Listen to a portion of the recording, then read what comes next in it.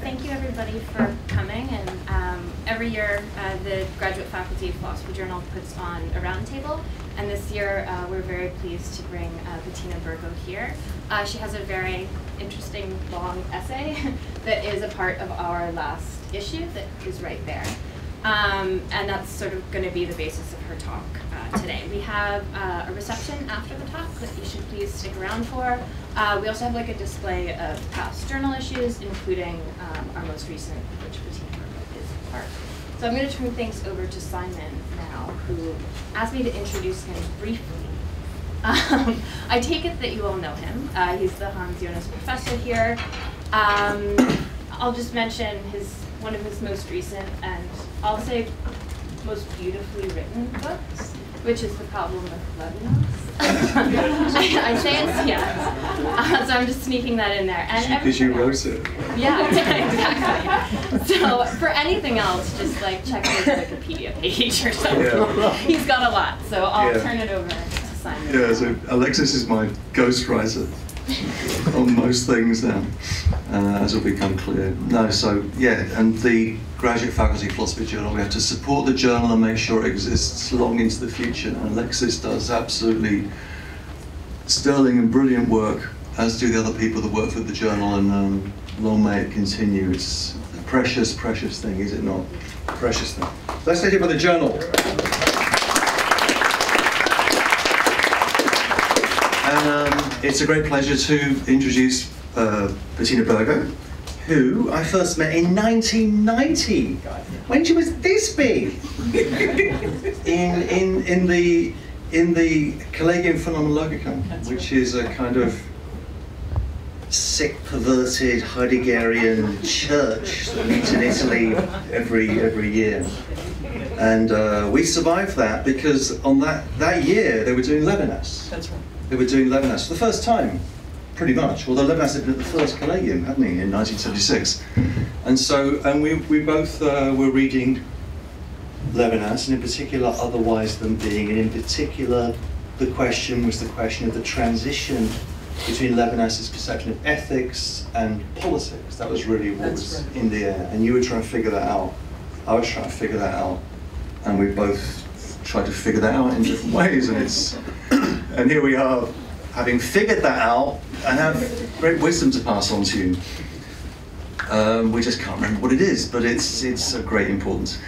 And uh, Bettina teaches at Université Montréal, uh, Université Francophone, Montréal, uh, and it's um, a great place with as big a graduate community as, as this place. And uh, it's a fine department, and uh, this year she's at the Martin Marty Center in the University of Chicago. And the paper is, as it say, it's um, uh, in the latest issue of the Graduate Faculty Philosophy Journal. And to my right is Professor James Dodd, who will be familiar to all of you. And he was teaching Husserl's logical investigations this year, right? Year-long seminar.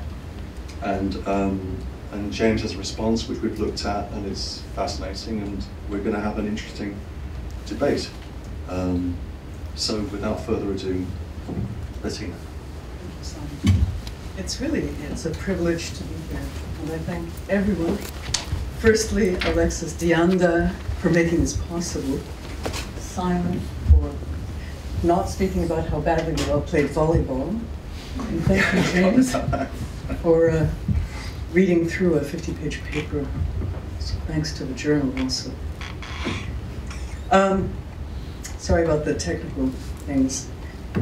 There's a joke about two rabbis, which I'm going to set between two cardinals because it reminds me, and I recommend it, of Lenny Bruce speaking about Cardinal Spellman and Sheen meeting Moses and Jesus.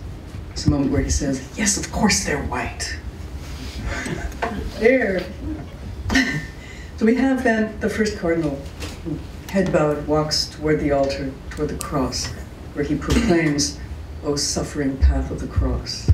Before this I am nothing. Second cardinal, his colleague, crosses around the back and never taking his eyes off the altar, murmurs in the direction of the cross, O life of our Savior, that I could imitate this life, but I am but dust and ashes. They solemnly prepare to leave, backing up, once at the door. You see a little fellow, janitor it seems, kneel down before the altar saying, Ah, sinner that I am, an eternal cipher. One cardinal looks at the other and says, Now look who says he's nothing. well, this joke could be told by phenomenologists with Levinas occasionally playing the part of janitor. But janitor or not, his intuitions into intersubjectivity, passions, and traumatic affects have haunted since his death a great deal of French phenomenology, notably at the Husserl archives in Paris. In many places, Levinas will say things like, Our presentation of notions remains faithful to intentional analysis, insofar as it signifies locating notions in the horizon of their appearing, a horizon unrecognized or displaced in the exhibition of an object. Or again, in responding to Theo de Boer in 1975, um, it is not the word transcendental that I would keep, but the notion of intentional analysis. I think that in spite of everything, what I do is phenomenology, even if all of Husserl's methodology is not respected. This isn't fanciful. It's not Husserl, you know, kowtowing to an interlocutor or brandishing Husserlian party papers to counter the Heideggerians. So why is Levinas's so-called exteriority, for example, why is the face that he describes as pre-intentional resistant to constitution because not directly perceived, why is all this dismissed as smoke and mirrors? That's a quote. Or surreptitious God talk. As though Levinas were not Jewish. As though a Jewish thinker would today try to sneak God into incarnation. It's been done. But Levinas is a rationalist, a mitnagdist. So what's the point of the article? Basically to show this. Levinas, as a critical reader of Husserl, worked phenomenologically by exploiting four ambiguities in Husserl's thought. These ambiguities are as follows, and they structure my presentation. First, Husserl's evolving conception of Einfühlung, alternately translated as intropathy or empathy, better perhaps might actually just be in feeling. Second, Husserl's critical dis distinction between perception and apperception, where apperception denotes what is co-given horizontally with perception, or what you see and retain even though you don't know or you're not paying attention to it at a given time. Third, Husserl's conception of pre-objective time as the temporizing flow of consciousness with at least its three aspects or ecstasies, its three stretchings, retention, protension, and the standing stream present. Finally, he exploits Levinas, uh, Husserl's 1918 to 1927 research into passive synthesis, and notably into spontaneous association, memory, and affective forces. No need to add, here's the full list, that Husserl's towering thought evolved, notably on points one and four. And James Dodd can teach us a lot about point three.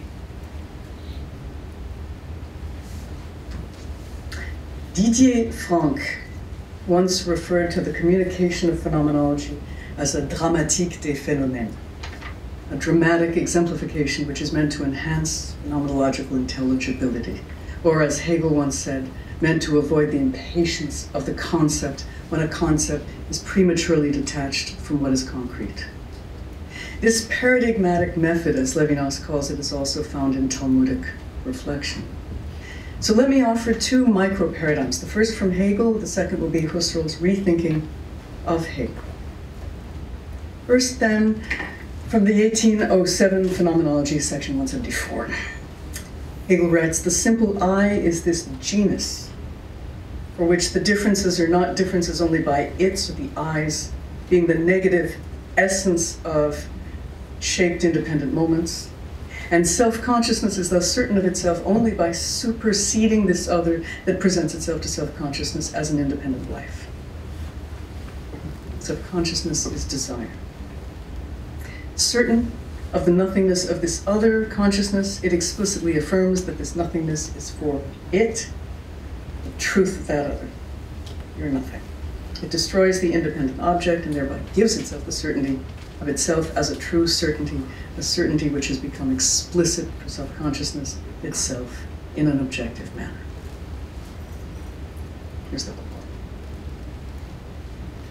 I realize we can't just excerpt things from Hegel's phenomenology or the dialectic of two self consciousnesses. It doesn't begin or end there. After all, this is the path to spirit, toward the I that is a we, and toward intersubjective formations like the state. But note here that the evolving self consciousness negates, it desires, consumes, subjugates things and beings, which thereby gives it the certainty of itself as a true certainty.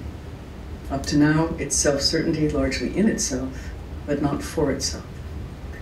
So Hegel adds, five sections later, self consciousness is faced by another self consciousness, it has come out of itself. This has a twofold significance. First, it's lost itself, for it finds itself as another being. And second, in so doing, it has superseded the other for it does not see the other as an essential being, but in the other sees its own self. Still not yet a self consciousness in and for itself. It will be through the resistance of the other that self consciousness A ceases to see in self consciousness B um, its own self and recognizes it and hopefully gets it to serve A. There's a lot to say about these passages, but note that what drives the simple I's quest, again, is desire, Begierde, and you might say will. Indeed, desire defines self consciousness, it is its life and its efficiency, its effectivity. So let's pass now to the second drame from Husserl's 1927 notes entitled The Phenomenological Reduction to the Alter Ego and to Intersubjectivity. 1927 is rather late Husserl, written at a time when he was also exploring his famous double reduction. He writes, I have the experience of the others as my fellows, and adds, guided by the expression of the foreign subjectivity and its fleshly corporeity that appears to me, posit precisely the existence of this foreign subjectivity. Although the foreign subjectivity is increasingly unified with mine, its basic strangeness is never lost.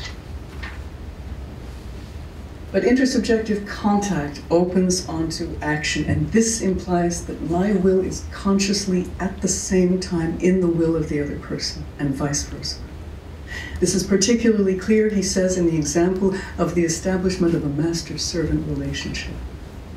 Because at the transcendental level, my will becomes one with that of the other.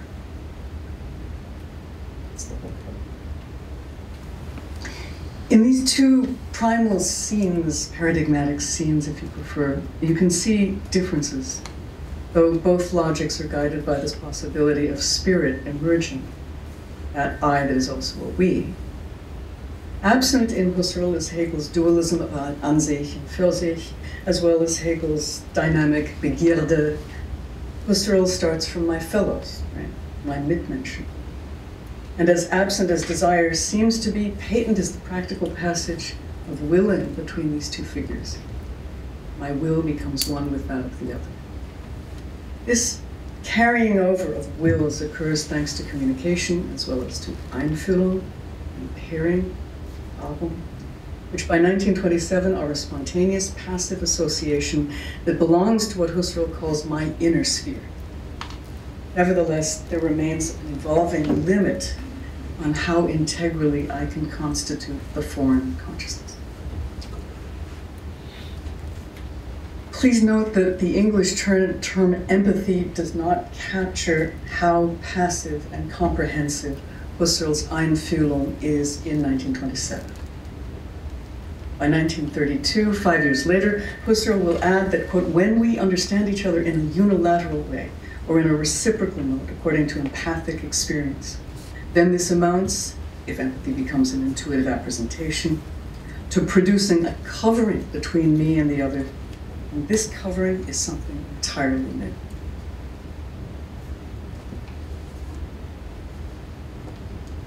The limit placed on constituting the other, the absolute quality of the other consciousness that Husserl once embraced, is, as if questioned in 1932, set afloat in this covering two, even if it's only covering of our two bodies. This is again the working of empathy, not desire, not the Hegelian negative.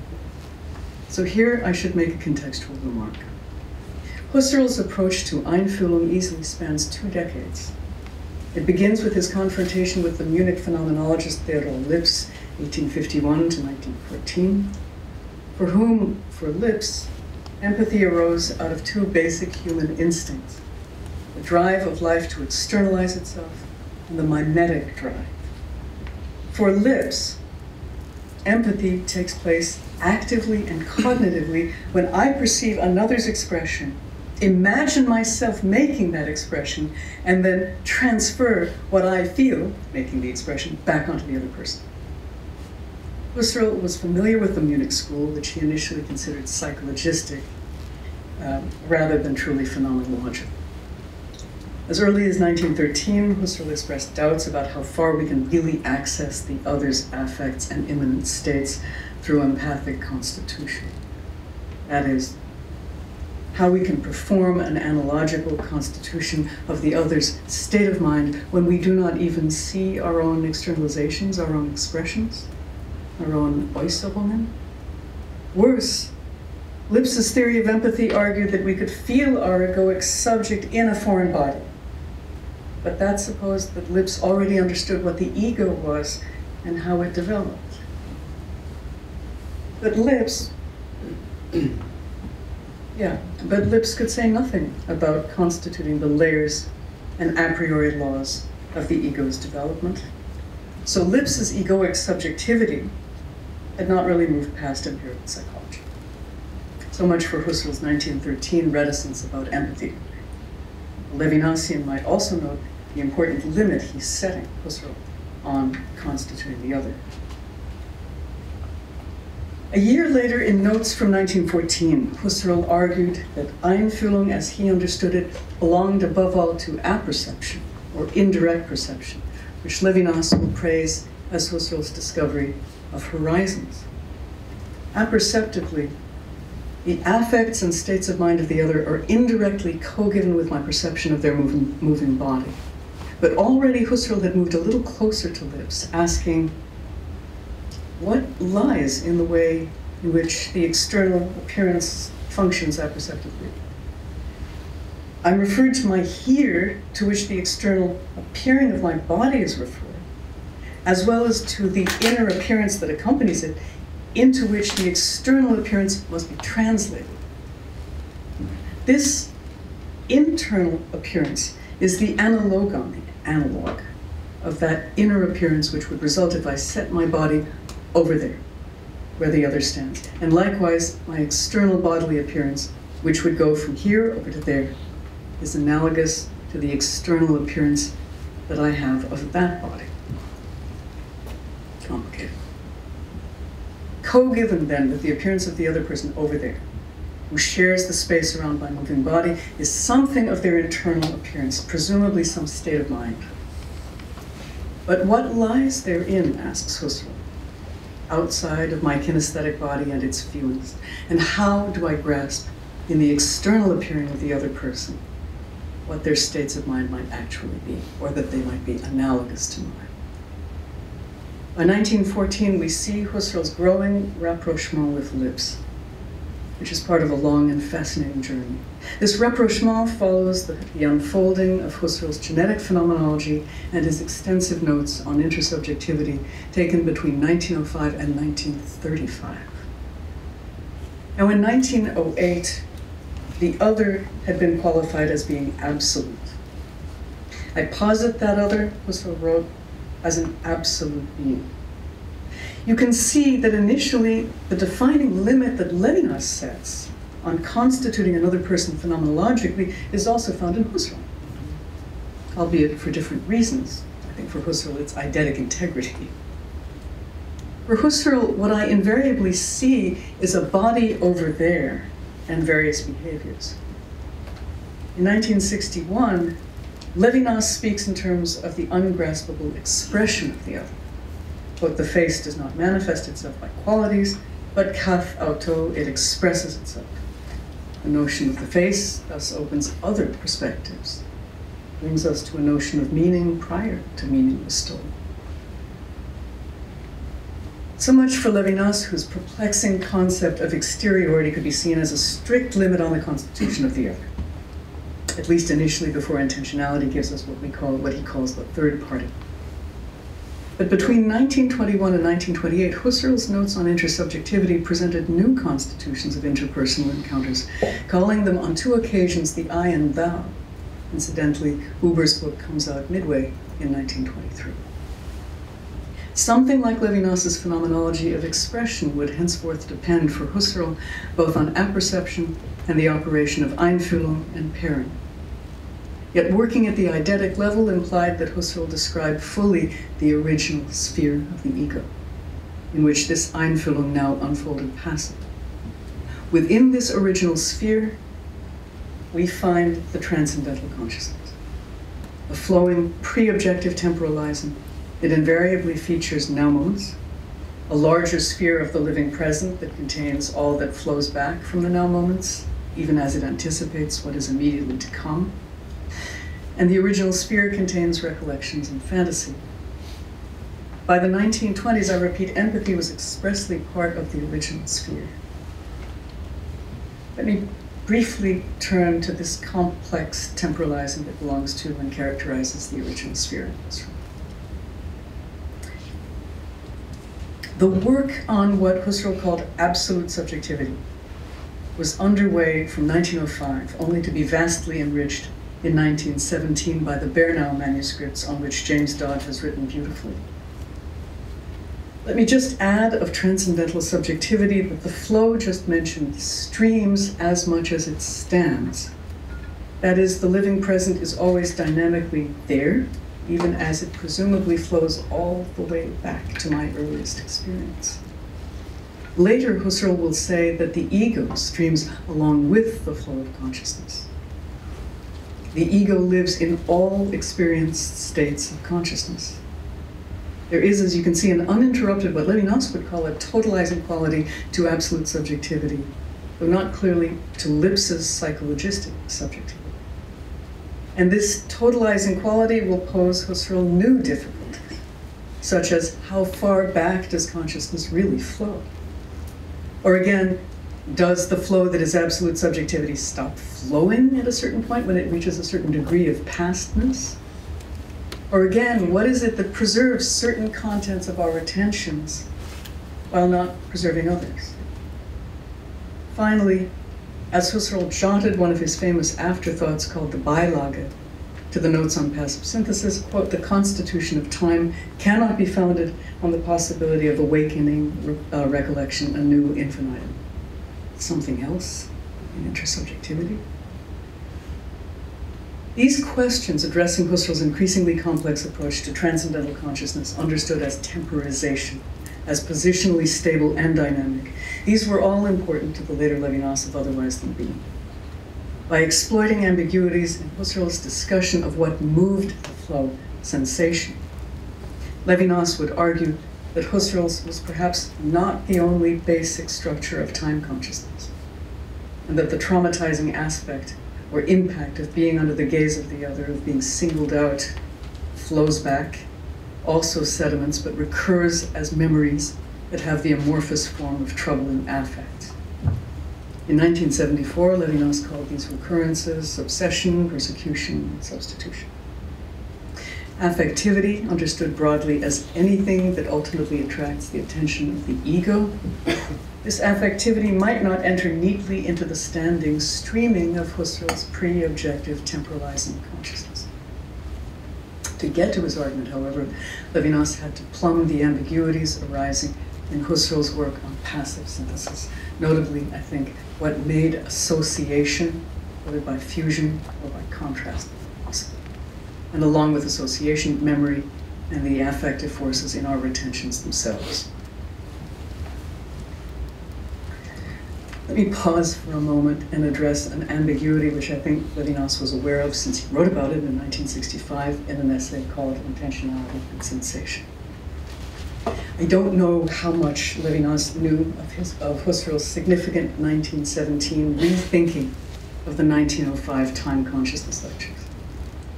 Don't know if Levinas met Edith Stein and discussed her concept of empathy when he was in Freiburg in 28. I do know that James Dodd has pondered the relationship between Husserl's 1905 time consciousness approach and his revisions in the Bernau manuscripts. The point is that in 1905, Husserl offered right triangular de depictions of time consciousness to illustrate the vertical sinking down you can see from now moment E down to P prime down to A prime. And then the horizontal passage of sequential now moments with their protensions and retensions, again from E, the now moment, flowing back to A, where the protensions are not graphically included. This prompted debates about whether Husserl could really open access after the fact to pure transcendental subjectivity in its immediacy and as the a priori norm underlying all of our lived experiences consisting of intentional aiming and objectination. A lot of ink has flowed on this debate, which concerns in part the status and accessibility of transcendental immanence and immediacy. But maybe it's enough to say here that what Levinas was interested in above all was the conundrum of sensation with regard to the temporalizing flow, where sensation and flow might be understood as kind of analogous to primitive matter and form. Levinas wondered, put this in the question, uh, form of a question, one that Husserl also wrestled with, namely, does the material of our sensations, does the materiality that is sensation, propel the ongoing transcendental flow as each new now moment, each new sensation wells up and is subtly modified? Or should we admit that the flow of consciousness is what makes sensation possible consciously once it has become an affect that can attract the attention of the ego? See, if the second is the case, if the universal flow, uh, if the universal form of intentionality is primary, then pre or proto consciousness in the form of sensation is unavailable. And a formal dynamic unity becomes primary because it structures sensation, allowing it to enter consciousness at all. But if the first is the case, then sensation, which theoretically fuels the flow, comes both before and after its own structuring as conscious awareness. That is, it comes before because something had to be going on, say, in your body, your nervous system, before uh, I was aware of it. And it comes after because as conscious awareness, uh, it is only as conscious awareness that I experience sensation at all. Conundrum. Following Levinas's 1965 essay, which he concluded simply enough by praising the idealism of Husserl's approach, his 1974 work entitled Otherwise Than Being exploited the ambiguity that James Dodd has phrased this way. Implicit in every lived experience is the living through of that experience as its origin. Again, and in other words, can the implicit be made explicit without denaturing it or forcing it into what reflection believes it to be? With regard to sensation welling up into consciousness, how do you approach chaotic, amorphous sensations and affects? In Otherwise Than Being, Levinas contests the ultimacy of an uninterrupted living through as a totalizing transcendental consciousness and the sole origin of experience. Moreover, despite his protesting to Theo about Husserl's recourse to a certain transcendental, uh, itself debated by people like John Zah- uh, Zahavi and John Brough. Anyhow, despite his protesting, Levinas also seeks a pre-reflective, co-temporalizing that would be specific to certain affects, and perhaps even to speak like Husserl in the passive syntheses, shot through with affective forces. Levinas is also aware that retention, those interconnected now moments that have flowed or stretched back and continue to sink, sediment, is aware that retention, quote, is only what it is thanks to an as yet unspecified relation to protension, or spontaneous anticipation. This is how Dodd put it in 2005, preparing discussion of the innovations of the Bernau manuscripts. I like it because it emphasizes, among other things, Husserl's restless, ongoing exploration of the transcendental level and his original sphere. It points also to an ambiguity that I think Levinas may have known, namely the continuing activity of anticipation, protension, even as given now moments have flowed back, functionally vanishing from view. These two modes of temporalizing consciousness, retention and protension, prove to be interwoven and account for the complexity of consciousness as the precondition of objective time. Protension, active here and now, but also ongoingly as the flow continues, points to a Vorbewusstsein, to a pre-consciousness. Paraphrasing Dodd. But this pre-consciousness may have little to no content.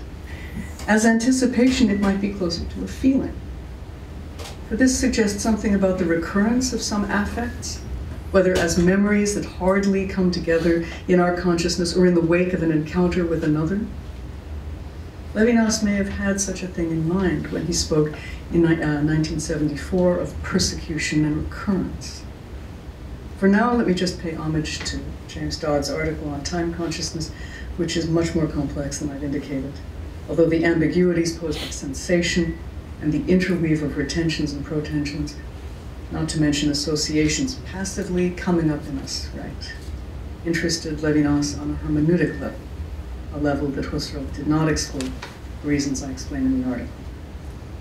In short, Husserl's interest in sensibility, understood as affects and value, long paralleled a concern with object constituting sensation. So sensation and sensibility, if you will, sensation and emotion, if you like, were isomorphic for Husserl.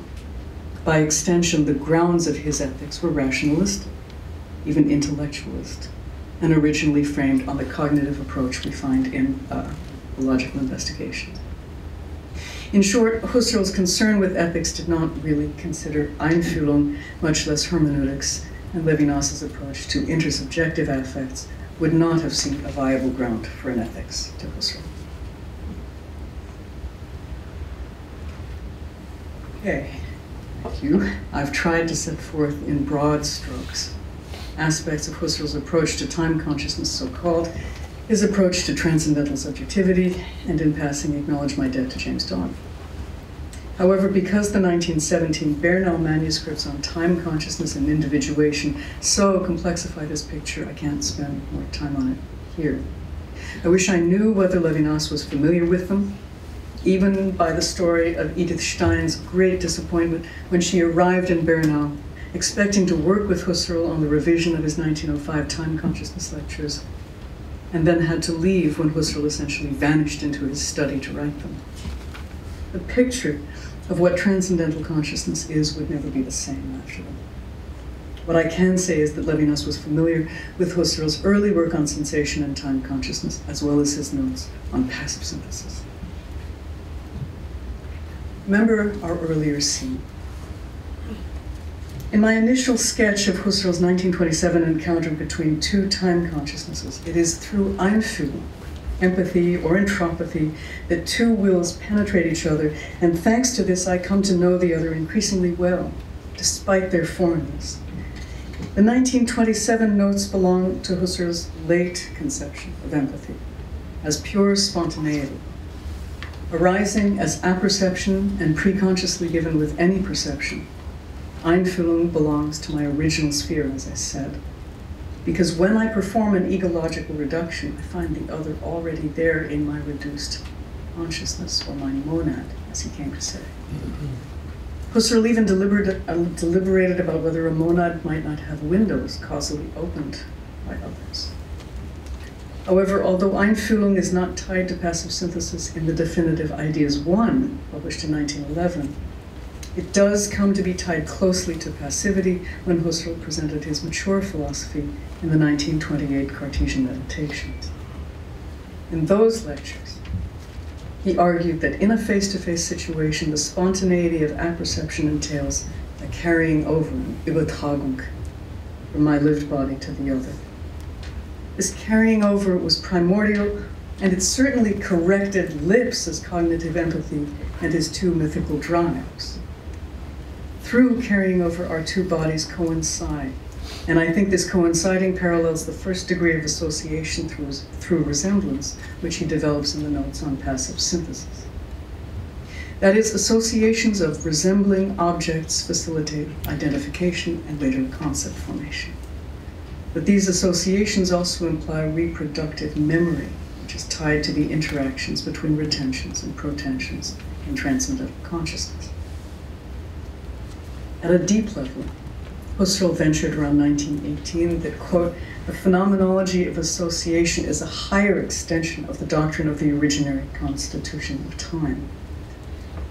So, what comes first? The fact of spontaneous passive association, knitting our experiences together, or the transcendental consciousness that flows and is always there standing and streaming, which has priority? It Seems hard to decide. But to return to the Übertragung, the coinciding of our two bodies occurs thanks to a spontaneous association, effected passively through the merging of recollection and perception. The same applies to apperception, and this too can be scrutinized phenomenologically. Thus, association has an encompassing, even an assimilative quality, despite the fact that in the case of the other person, the dimension of foreignness remains. Indeed, as I grasp the others, that the other's body is like mine, I note that my own, to me partly visible body, must have the integrity that the others have. It is the perceived unity of the other body that gives me a sense of myself as an empirical being, as this person here. And we can recall Levinas's 1961 arguments that the other is what individuates me, though again, for Levinas, it's through their singling me out by their gaze rather than through association. Husserl, in the now of an association through resemblance, there occurs a moment of self alienation. Beyond questions of empirical self objectification, self alienation suggests that in my perception and apperception of the other, I momentarily lose myself or something of myself, recognizing that I'm squarely in the other's field of vision, even though I don't know his thoughts implicitly. All of this comes to pass, the spontaneous carrying over, as also the self alienation at the deep level of my egoic life. As Nathalie Depraz argues, self alienation or Entfremdung, sometimes written with a hyphen Entfremdung to underscore the processual, is a structural condition of my relation to the other person. The point was not lost on Levinas, even though he knew the Cartesian meditations as their co translator and maybe less well Husserl's notes on intersubjectivity from the 1920s. Important here is the echo we hear in the 1974 Levinas, who introduced his section on, on substitution with the citation you know from Paul Celan, I am you when I am I. This seems to me to be a radicalization of self alienation. With apperception and spontaneous Einfühlung, Husserl's phenomenology of intersubjective encounters reaches toward the pure psychology he had already considered in a remarkable work, The Basic Problems of Phenomenology from 1910. Already there, we see that he was interested in more than eidetic constitution. It's important because some readers scarcely tarry with the Husserl who wrote notes on phenomenological psychology and on passive synthesis. But if association plays the role I alluded to in the unification of consciousness as temporalizing, as standing streaming, then the question of how association occurs becomes unavoidable. This opens the question of passive synthesis and affective force, something Levinas took up in his own way. Husserl argued that as our lived now moments flow back as retentions, they undergo a process of cognitive impoverishment, an ongoing intuitive depletion. There's less and less to them. Indeed, depleted of its contents, a retention can actually become devoid of content and its original affective force almost nil, he argued. At this point, in the passive synthesis notes, Husserl makes a strange claim. Empty retentions are not nothing. Empty retentions are zero degrees of awakening, They are the source and origin of associations awakening. Comparable, he says, to the arithmetic zeros counted nevertheless among the numbers. Almost anything can be awakened out of empty retentions, if not by us or at will, then by another. By the period 1918 to 1926, this was part of the phenomenological structure of memory itself. It's also why Husserl claimed that the foreign quality of the other can be compared to the alien quality of a memory.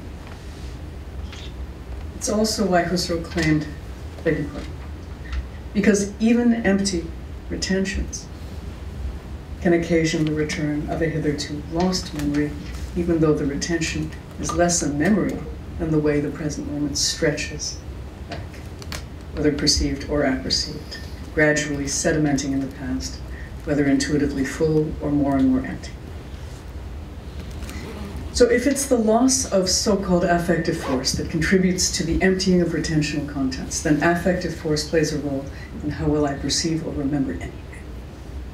This is how, or how and what, that is how and what something or someone will awaken in me, invariably.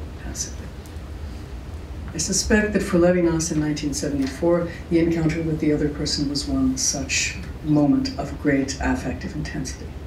Moreover, if what Levinas calls recurrence, obsession, persecution, if this expresses the spontaneous, passive return of affective forces, as forces that don't make sense but leave me too tight in my skin, then Levinas is writing something that we already find in Husserl's notes on passive synthesis. The meaningful succession of temporal phases implies ordered objects contributing to a coherent world, to be sure. But beneath or beside these orderly phases are nevertheless two more chaotic levels the chaos of impressions in the process of self organizing, and the chaos of the connections of our many sense fields amongst themselves. To the degree that he knew of Husserl's investigations into these deep levels of consciousness, to the degree that they might have discussed this two years after the end of the Notes on Passive Synthesis when Levinas was in Freiburg in 28, to that degree, otherwise than being can be said to step into the deep level of sensuous chaos, where it locates the roots of my affective investiture by another person, or indeed, as was also understood, by an alien, seemingly senseless memory. Let me illustrate this and recall that in 1974, Levinas wrote, It's because the assembly of non signifying elements into a structure and the arrangement of structures into systems or into a totality involves chance and delays, and something like bad or good luck, since the finitude of being is not only due to the fate that destines the way it carries on toward meaningful manifestation. Because of this chance and these delays that subjectivity and retention, memory and history intervenes to hasten the elements into a present, to re-present them the intervention of subjectivity to forge meaning is a passive process for Husserl. But that some dimension of the subject proves able to order these non signifying elements into a structure. That's already idealism. I presume it's the case in practice, but it doesn't justify our overlooking those affective elements or forces that come to pass in intersubjective encounters and traumatic memories. That's Levinas's wager. Our pure passive ability to totalize bathes in Husserl's chaos of sensuous fields, and his chaos becomes Levinas's pure susceptibility. To present reflectively, or as a philosophical argument, the chaos of recurrent intensities and the affective opening of a self that responds to another is impossible, because it becomes a theme or a hypothesis. Nevertheless, Levinas takes up this challenge, proceeding with his own dramatique des phénomènes, his own paradigmatic method by which he opens an otherly than being. This is so called because the question of being as meaningful, thematized existence already assumes the minimal integration or erasure, also, of affective forces in the chaos of sense fields. The subject arising in the passivity of unconditionality, writes Levinas, in the expulsion outside its being at home with itself is undeclinable. In other words, that subject admits no higher modalizations. It can't be refused. But this undeclinability, he adds, is not that of transcendental consciousness. It's not that Levinas rejects Husserl's method. He transforms it into speculation, and it is speculation on the dynamics of intersubjective affects and on the layers of passivities already opened by Husserl. In my article, I try to show how he's taken up Husserl's themes of affective forces, levels of chaos, and the questions posed by Husserl's syntheses of association, whether contrastive or concordant, leading to fusion. Let me just recall parenthetically that for Husserl, the intensity of affection is firstly a function of contrast, rather than concordance or similarity. So disjunction, creating difficulties in identification, say, of another, would flow from affections engendered by contrast. After all, it's there in the movement of affective forces and between the spheres of our awakening and our forgetting that Husserl will say it's a matter of a phenomenology of the unconscious. That is how far Husserl went, not officially, maybe not in the published works, but in his meditations on spontaneous association in radical passivity. It's this influence, I believe, that Levinas unfolded in the suffering of recurrent affective memory, and even the apperceptive disruption of face to face encounters with other people. So let me come back in closing to Husserl's evolving approach to empathy. For it's with passive synthesis that everything changes for Einfühlung. Much changed as well in Husserl's approach to temporalizing consciousness. In the 1920s, in his notes on intersubjectivity, Husserl thrust Einfühlung and Paarung pairing to their deepest intuitive levels, speaking even of my spontaneous grasp of the other's internal tumult and psychic excitation. It was through his radicalization of empathy and pairing that Husserl not only corrected Theodor Lipps's cognitivism, but dug as if beneath Hegel's dialectic of desiring negating consciousness. That is why Husserl could write sounding a lot like Merleau-Ponty. Instead of a juxtaposition of two consciousnesses ready to deny the in itself of the other, we have to do with an interweave of sociality, which is clearly part of the meaning of the terms master and servant. The action of the servant is not an isolated, simply private action, but rather an action taken in the awareness of the fulfillment of the voluntary requirements of his master. The order of the master is a will that is projected into the subjectivity of the servant. That quote. That quote is from about 1925. It's all part of the Hegel thing. Yeah, yeah. Yeah, learn.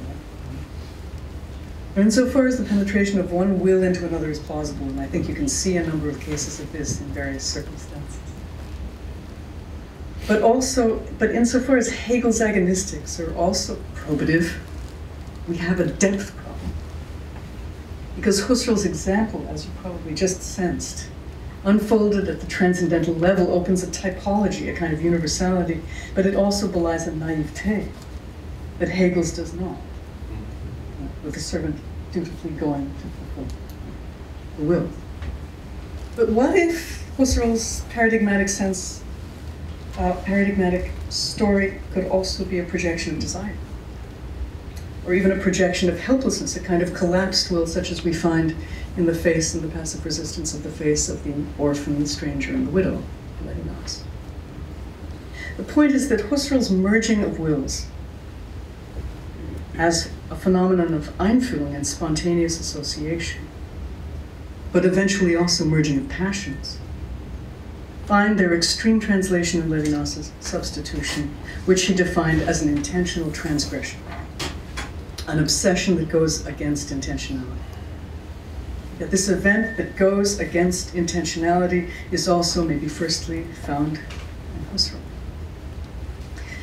So, though he probably didn't know of Husserl's reworking of the master slave dialectic, Levinas too thought of Hegel when he thought of passivity and the chaos of passions. Levinas wrote, For the venerable tradition to which Hegel refers, for which the ego is equal to itself, and consequently for which the return of the being to itself is concrete universality, When seen starting from the obsession of passivity, of the self anarchical, there emerges an inequality behind the equality of consciousness. This inequality was explored by Husserl as a function of contrastive associations. One example of which was suffering, a wahnsinniger Schmerz, a maddening pain. This constituted but one form of extreme contrast, yielding, enduring affective forces that flowed back and sedimented. But less physically, the seeming equality of consciousness that Levinas denounced in Hegel shows inconsistencies in intersubjective encounters in Husserl as well. As Husserl argues in 1928, two data are given in the unity of consciousness according to an intuitive distinction and on the basis of which, in pure passivity, they ground phenomenologically a unity of resemblance as distinct appearances. Fine. However, finer analysis shows that there is here in an essential manner an intentional transgression that intervenes genetically the moment the members of the pairing have become conscious together and distinct. So recall Levinas's own intentional transgression. Husserl seems to mean that the intentional consciousness, which through the ray of its attention slowly builds up the profiles of an object on the basis of the object's self-donation, this intentional consciousness can somehow be transgressed. Little may happen to the equality of consciousness to itself in this transgression.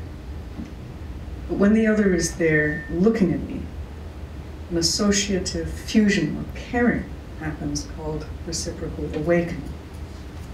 Maybe I even lose myself as the ego pole of identifications in this face to face when the spaces around our two bodies merges.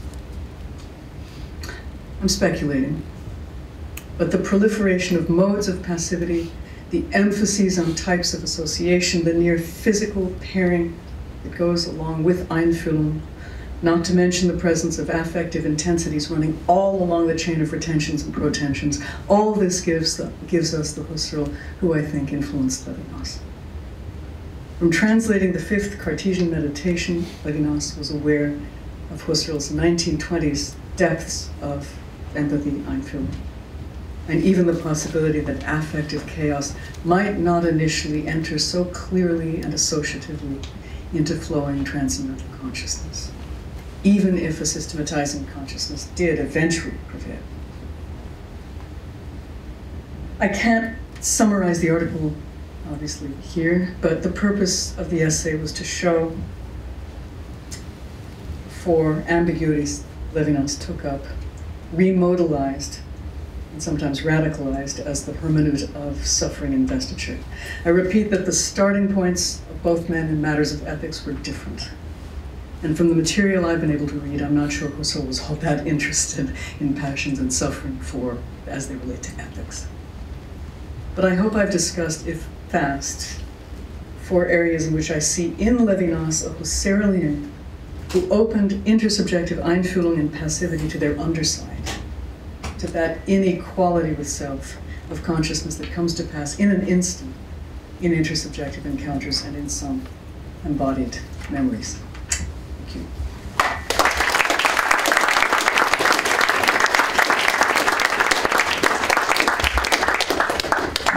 Great. James. So I'd like to thank Professor Bergo for her paper and for being here, as well as thank the journal for organizing this and, and Simon for, for moderating. Um, I don't have a good joke to start off with. Sorry, I, I don't have a PowerPoint presentation. I'm not even wearing a tie. I do have some comments. Um, um, one, one comment is, which I often make, um, sometimes to the relative chagrin of the Husserl scholars that I hang out with, is that I, I've always considered Levinas to be one of the most interesting commentators on Husserl that one can find in the literature.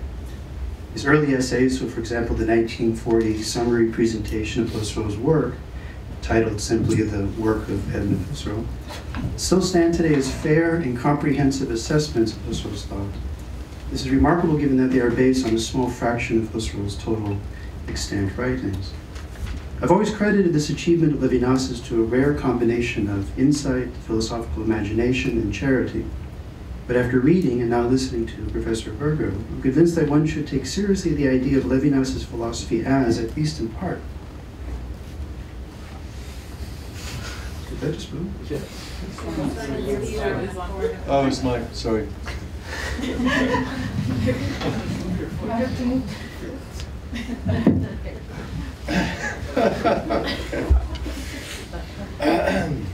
Sudden corporeal interruption. Um, So where was I? Yeah, so we should take seriously the idea of Levinas's philosophy as, at least in part, a fundamental transformation of the Husserlian project. Now, it's a very difficult thing to bring the whole of this project into view, not to mention assessing the influence it did or could have had on an equally complex thinker like Levinas. I think Professor Bergo achieves a great deal on both fronts, and I will again allude to her essay, which provides such a rich trove of suggestions and insights that the footnotes alone will keep you in the library for a month. So since I can't hope to comment in any systematic way in either the talk or the article, I will offer instead a few observations to supplement Professor Bergo's presentation, highlighting some points she has already made, as well as adding a couple of my own. So first, it strikes me that the central issue is the meaning of intentionality.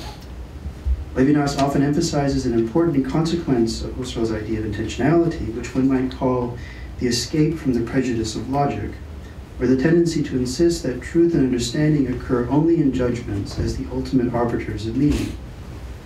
Intentionality promises an escape from this prejudice in that it inscribes the accomplishments of judgment into a broader field of the lived experiences of meaning. But the theme of intentionality also sets the stage for some perplexity. And perhaps here we have another of Professor Bergo's ambiguities in Husserl's thought that became so fruitful for Levinas. Namely, intentionality would also seem to exclude any kind of sensualism. If consciousness is intentional, then it must always already be relating to things and never a mere passive interiority. Nevertheless, and much to the dismay of many of his interpreters, Husserl remained faithful to the end to the idea that sensation plays a central role in any phenomenological account of perception or consciousness in general. And precisely sensation is a non-intentional dimension of lived experience. On Levinas's reading, Husserl's thought provides a consistent emphasis on what we might call the universal impressionality of intentional life. Descriptions of this impressionality prove time and again to be essential for Husserl's understanding of the being of intentionality. Above all, when we move from the earlier act analyses of the logical investigations to the transcendental philosophy proper of ideas one and later. If anything, for Levinas, this commitment to sensibility saves Husserlian phenomenology from some of his worst impulses. For in any transcendental philosophy, there is a tendency towards formalism, towards the, towards the delimitation of abstract structures that govern the unfolding of experience at the expense of a reflection on its concreteness. In the case of a transcendental phenomenology, one might say, this tendency expresses itself as a structuralism all too absorbed by the forms of intentional interweaving in a manner that threatens to obscure the original commitment to the concrete that was so important to phenomenology as an alternative to neo-Kantianism. So experience, taken as a robust expression of this concreteness, would be an alien theme when elaborating the transcendental field if it were not recognized that this field is intrinsically an impressional nexus, that intentionality has its ultimate source, um, has as its ultimate source the unique individual life of living sensation. Above all, Husserl's theory of sensation plays its most prominent and important role in the analyses of internal time consciousness. That is, the time that belongs to consciousness itself, or that simply is consciousness. The question of sensibility in Husserl here becomes a double question, one of sensation and time. Accordingly, the focal point of Levinas's reading in texts such as intentionality and sensation is just this double question. Sensation plays a prominent role in the analysis of time because the basic problem of time is one of distance. The consciousness of the distance between the present and the past, between the future and the now. These distinctions are at bottom non-conceptual. There's no mark that would allow us to judge a moment in its determinateness as something past, yet nor is the distinction unambiguously intentional in character. The phenomenality of the past, with that of time as such, involves a distance that is not marked out with clear signposts that organize the field of intentional manifestation or appearance. Rather, the no more of the past and the not yet of the future represent an integrated presence of the non present in the whole of intentional life itself, and are not something projected out before or behind it. Thus, Husserl's idea of an inner time, a time that belongs to intentional life, which presence is its immanence, and which is not the terminus of an objectifying act of consciousness. Levinas also emphasizes in the essay Intentionality and Sensation one of the most important themes in Husserl's analysis of time, that of modification. The consciousness of time, the living of its passage, is described by Husserl in terms of a distance between the unmodified originary impression and the retentional, protensional phase modifications that constitute lived intentional consciousness as a concrete impressional flow. Presence of the just now in the now is guaranteed, and with that, its position in the flow of consciousness is determined by a modification of its now character that inscribes it as a present not now in the living present. Retentional modification in this way does not thereby erase the distance between the then of the just now and the immediacy of the now, as if the past were only known through its becoming again present, but enfolds it and refigures it into the profile of a passage of interpenetrating moments or phases. The past, or inner time as a whole, is thus not an object and intentional content, but a sensuous temporalization that belongs to the living present, to the life of intentional being itself. This is the core of Husserl's sensualism. The insight that time is an impressional continuity that does not negate or traverse the distance between the past and the future, but instead lives it, is this distance in the form of an originary sensuousness. Despite all the idealizing tendencies one finds in Husserl's account of the life of intentionality, its source, its origin, is in an original, unmodified, non ideal passivity, one that remains fundamentally unpredictable and unanticipated. Intentional life is thus an impressional being penetrated, with that a self creation out of what is wholly other than itself. If intentionality is a being directed towards, it is so only from out of this temporal sensuous upsurge of creative being, a spontaneous sensation that takes the shape and form of a continuum of self modifications. So, to quote Levinas from Intentionality and Sensation, proto impression is non ideality par excellence the unforeseeable novelty of contents that arise in this source of all consciousness and being is original creation, a passage from nothingness to being, to a being that will be modified in being for consciousness, but that will never be lost. A creation that deserves the name of absolute activity, of Genesis spontanea. But it is at the same time fulfilled beyond all conjecture, all expectation, all germination, and all continuity and consequently is wholly passivity, receptivity of the other penetrating the same, life and not thought. What is most striking about Levinas's reading is his argument that Husserl's notion of close quote. Too excited. What is most striking about Levinas's reading is his argument that Husserl's notion of a personality of the sensible does not disrupt the integrity of a transcendentally reduced consciousness. The transcendental field is an original flow of experience, a first intentionality dispersed in time, one that inaugurates precisely the sense in which intentional life is present to itself across that first distance of unmodified, modified time. Again, Levinas, from the same essay I've been quoting, so quote, through his theory of the sensible, Husserl restores to the impressional event its transcendental function. In its mass that fills time, he discovers a first intentional thought that is time itself, presence to self across the first divergence, an intention in the first lapse of time and the first dispersion.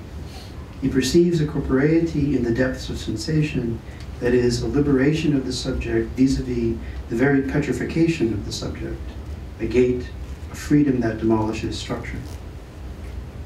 Levinas's defense, close quote, Levinas's defense of Husserl's conception of sensibility is significant, above all since it points to the manner in which he approaches the whole question of just what it is that the phenomenological reduction is and is not sensitive to.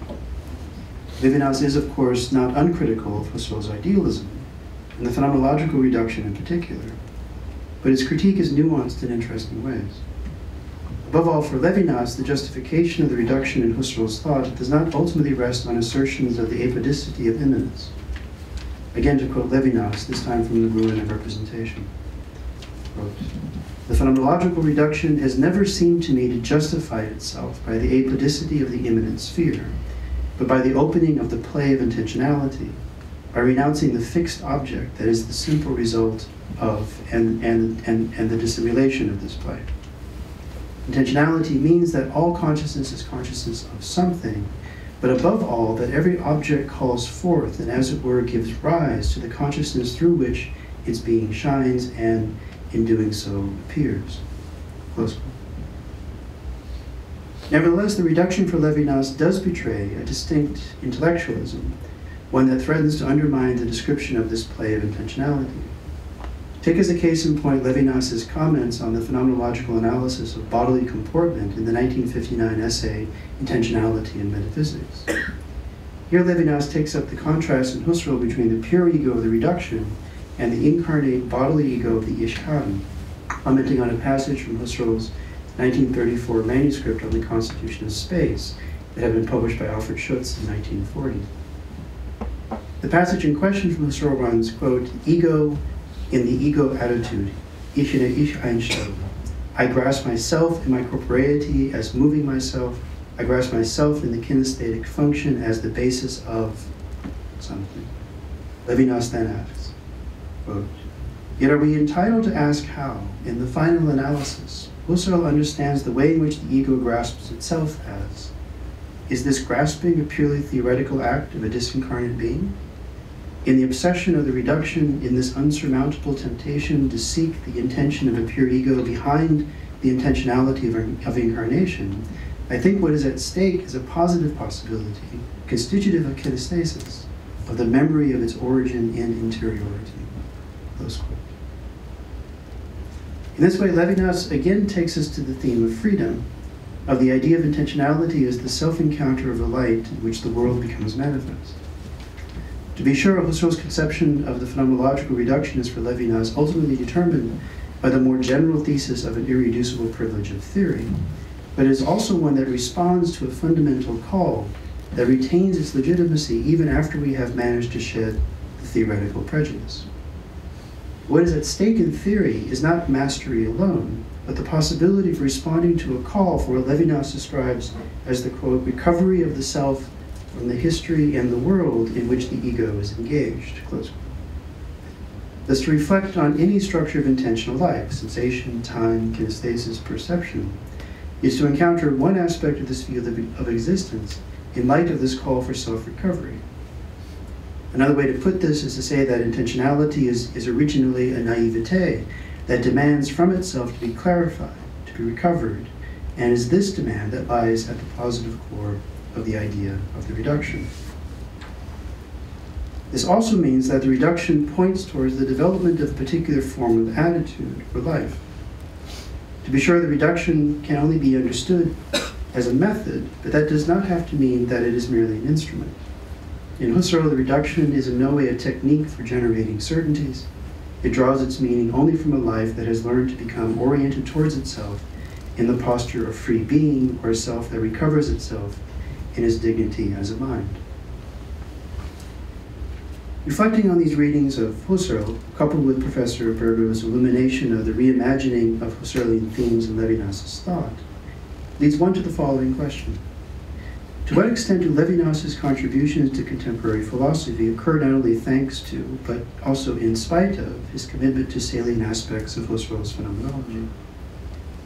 The story Professor Bergo is beginning to piece together is far more complicated than one of Levinas separating the wheat from the chaff in Husserl's thought. It is instead one of an almost seamless duality of appropriation and repudiation.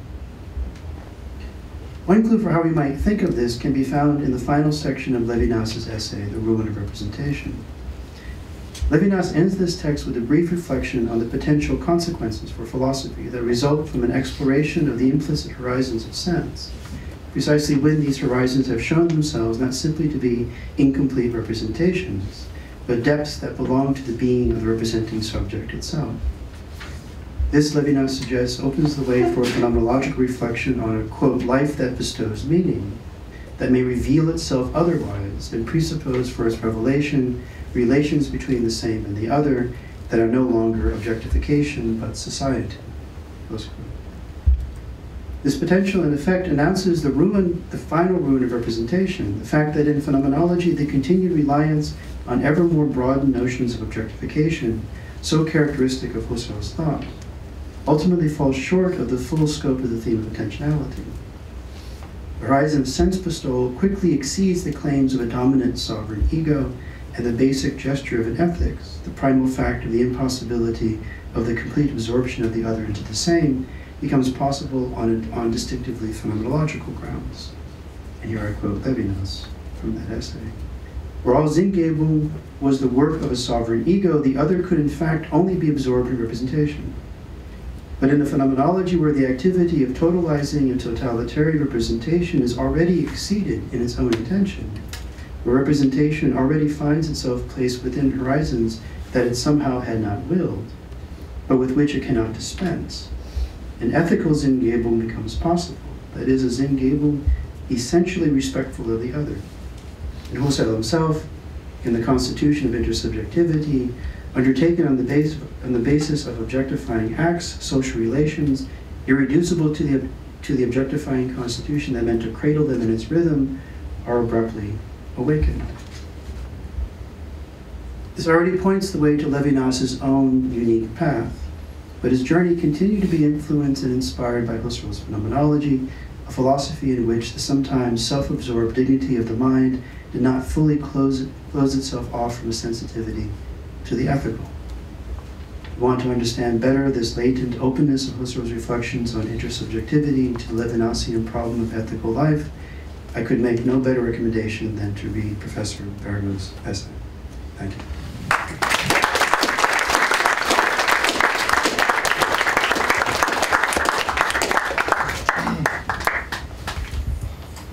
If you agree, basically. Yeah, so let's, let's go have a beer. Uh, but you get the right to reply, Bettina, I think, if Okay, you'd like to, if you'd like to Um, reply. sure. I mean, I, firstly, I, I don't have, I do have a microphone. Sensualism in Husserl is an interesting thing because sensualism seems to mean simultaneously sensibility, what the French call sensibility, meaning emotions, and feelings like the hardness of the table or the coldness of the air. And I wonder, does that matter? Um, I have no argument with Husserl, but I do remember, and what I find interesting, and I wonder if this changed, is when you hold them in parallelism, then emotions get sort of pulled in the direction of the objective of the objectivity of the contents of you know the hard table, etc. So something that a French commentator named Lavigne points out of the young Husserl working on an ethics, which turns into a rather intellectualist affair. And I'm wondering, I suspect you know this. Does this change? I mean, with the with the Einfühlung discoveries and the radicalization of that, is Levinas carrying on a kind of pipe dream, an ethical Sinngebung, respectful of the other? Is there that in Husserl, or are we always in that beautiful rationalistic ethics that we find in the Kaizo essays, you know? And maybe that's the best. Yes. So, so like I said, it, it's difficult to bring the entire project easily into view. Right? So, um, um, so on the one hand, you can say, um, uh, so it's you know, Husserl does want to go in these various directions and, and take seriously as philosophical problem um, feeling, emotion, make distinctions between, let's say, um, the notions of you know the way in which sensation is involved in, let's say, the aesthetic dimension of perception versus um, a, whole varieties of classes of different kinds of feelings. He's already doing this in the logical investigations. He's actually quite influenced by someone like Brentano in this respect, who wants to even go further than Brentano and basically wants to understand emotive experiences um, as, as having their, their own um, manner of, let's say, presentational heft without being dependent upon intellectual functions in order to, in order to make them, as it were, unities of meaning, or meaningful, or intentional as such. Right? So it isn't just because of, uh, of, uh, of, of a, a kind of judgment that I make that a feeling has some kind of presence for me or some kind of importance or can be marked in some way. It has its own, right, own manner of organizing the world around it. Husserl also, there's, there's, um, there's a huge project that he begins um, just after the First World War and it continues up until the 1930s. And it's called the Structures of Consciousness, the Strukturen des Bewusstseins. It's, it's currently being, it's like the last big publication that's going to come out of Leuven. And there, there's an entire theory of drives, which are remarkably com- you know, comparable to Freud. Wow. It engages it on a very fundamental, even a notion of a drive intentionality. So even thinking of, so if you have a notion that, Yeah, Burnett's been doing that. Bernard's been doing work on that, right? And, and that's, I mean, that's, I've, I've worked with some of these manuscripts, they're fascinating. and They, so, so you can, as you can always do in Husserl, there's, there's in the mountain of manuscripts, tens of thousands of pages of, you know, the fellow wrote constantly. You can always say there's exceptions, right? But in, in a way, it's not relevant because on the other hand, Husserl, is, if you look at the ethical writings, this is, and the Kaizo articles are part of this, right? His ethical writings from the 20s in particular. Um, even his engagement with Fichte during the First World War, in, in a series of lectures that he gave. It's clear that the, the primacy of, what I call here the dignity of the mind, right? The primacy of, of, of, of the theoretical is actually meant to be the cornerstone of a certain conception of ethical life. And the kind of, so for Husserl, what's fundamentally important is to be able to, on the one hand, recognize our capacity to assess the whole of our lives and to determine it in a rational direction, right, in terms of the adoption, in a very Kantian sense, of a set of principles that guide us. And he's committed to that. He's committed to the primacy of theoretical life as actually shaping who and what we are as a society, as an individual, what it may be. It isn't just done out of prejudice. He has, has an argument for it. It isn't done out of because he ignores these other depth problems of drives and sensation and feeling and emotion. On the contrary, he wants to incorporate them into his overall account, but where there's going to be, and Levinas knew this very well, a primacy of, of, of theory, of the theoretical posture. So that's, that's said nothing. Yes, you have. I think that's wonderful. I just wonder, attributable to what one can do. Because there's a tragedy with Husserl. I'll shut up. Yeah. Spoken way too much. But there is a fundamental tragedy in that way of founding, I think, ethics, belied by what happened afterwards, belied by the way in which reason was misused instrumental reason was misused. Anyway, this is this is one of the things I'm wrestling with. It's time for you But to the speak. opposite is true, right? Because I mean, the opposite is true in the sense that the, the I mean, if you read the doct- Levinas's doctoral thesis on Husserl, right, the critique of Husserl, there are a few main lines of critique, but one is there's an absence of historical historicity in Husserl, and then, but the main charge is the charge of intellectualism, intellectualism, primacy of theory. Now, what you've both um, established uh, in Bettina, you know, in, in, in great detail, is the um, the complexity of that. When, when James talks about an almost seamless duality of appropriation and repudiation, right? And this, in particular, this focus on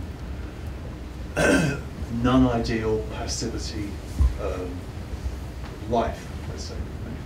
And, um, and Levinas in it's, it's really weird. It's really weird. Levinas in otherwise than being. You're right. He he picks up uh, these Husserlian themes, um, and that then became becomes his account of of the self, the recurrence of the self. I think what you're saying is absolutely accurate. But the the flip side of uh, I mean, going back to the doctoral thesis, the doctoral thesis is that Husserl is great, but there's a primacy of theory, intellectualism. And that's why Heidegger's right. right? And Heidegger's major insight for Levinas is and remains to the end facticity, right? Primacy of facticity. So therefore, the philosophical project, as conceived from the Greeks to Husserl, is fine, but it lives under the primacy of theory, right? And what Heidegger does is to shift that towards factical life that factical life ends up being, as it were, the philosophy of Hitlerism Yeah, in 1934. In parenthesis, it's that kind of you know. So I don't know how it, is, it gets even it gets even muddier. But the um, well, I don't want to complicate things, but the I mean the the kind of I mean, the, the the third wheel of this whatever dance is is Heidegger. Um, and the, you know, it's as if when Bettina is explaining Levinas's complex, seamless, you know, repudiation and appropriation of Husserl, what he's finding in Husserl is what he was reading as Heidegger's critique of Husserl in the, in the late 20s, through, Being in Time, but somehow thickened out um, in the analyses that Husserl gives. And uh, which then leads you to the, to the view that what's the difference between passive synthesis and facticity? You know, how would we carve that question up? I don't know.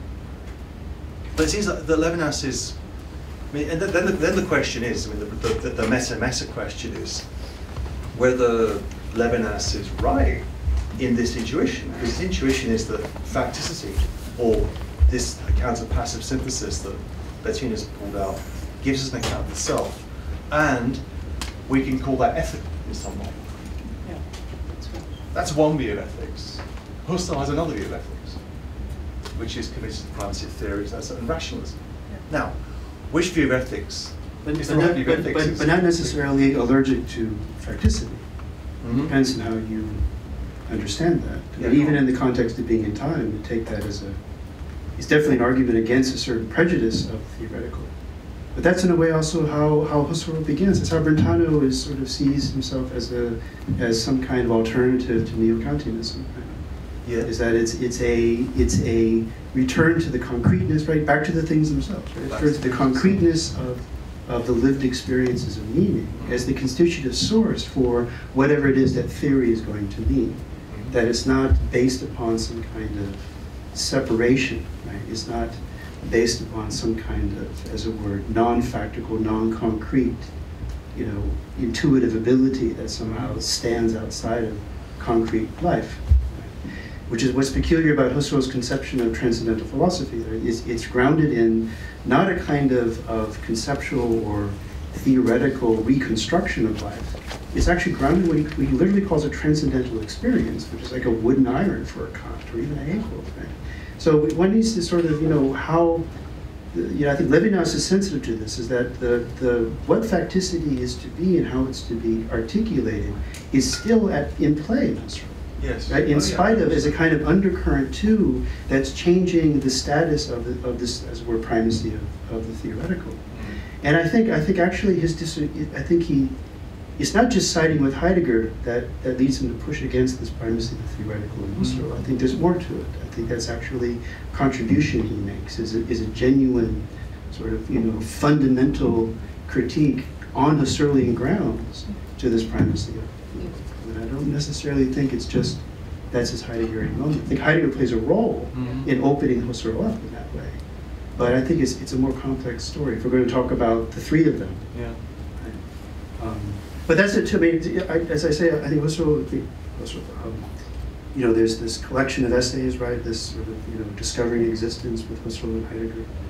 It's one of the worst titles I've ever it's like, you know, like road trip with Husserl and Heidegger. You know, it's, it's, Oh, I didn't know you know, we're cruising around in some beat up old jalopy. And Bashir Cohen just does it as, you know, as, as discovering existence with Husserl, he leaves the Heidegger there. Yeah, exactly. He doesn't like Heidegger. But, but, but he's very much, but at this period, he's very much a commentator on both. And, and, and in terms of that, I think if, you know, if you're interested in reconstructing the, what's philosophically at stake in the contrast between Husserl and Heidegger, Levinas, like others of his generation, like Jan Patočka, are very interesting figures to go to in order to attempt to, to understand that. Mhm. Um, so it's not just a commentator. It's a commentator on sort of what, what sort of the, what needs to happen to classical phenomenology in the wake of the Second World War. let's say, right? Um, in the wake of the, the double war that is just the inauguration of the 20th century. That, that's, that's his project. That's what he's doing. And he's transforming it from within, not just siding with Husserl Heidegger, he's actually working within both paradigms in fundamental ways, in very complicated ways. Yeah. It's very persuasive. Mm. Well, Should we, Um, maybe if we open it up, 'cause All right. there's plenty to say. Please. I was wondering specifically the um, emphasis on. Uh, I, um, I was going to comment specifically on the emphasis on face to face and corporality and sort of the sense, um, and how seeing another's writing um, changes Levinas's conception of the other, and obviously the difficulty. In some sense, it's more self-conscious. It's the Hegelian sense. Another sense, it is um, more difficult to infer the other, and there's more possibility of going wrong without the feedback of um, the constant sensuous feedback of the face-to-face encounter. Um, but I wonder, um, considering in a digital age where we are always using telecommunications, uh, and we do get this sort of constant feedback, um, is this textual person, um, say, call him the hexadecimal person, is this a sort of different sense of the other than the gaze for you know I'm thinking is a different sense. Hearing, seeing, and now writing is becoming almost you feel you know you have a different feeling using this telecommunication. Communication. It's like is this, is this yeah. It's like it's it's got more dimensions in gesture maybe. Right. Professor Bergo, Oh, God. Well, I'm certainly not sort good this one out for us. Okay, I will. Yes, I will. Obviously, there's not going to be much, much space merging between the message of the other and myself. eh? You know, when when Husserl was speaking about the two persons facing each other and the way in which space turns gradually into objective space, because I could go over where you are. I can't go where the message is.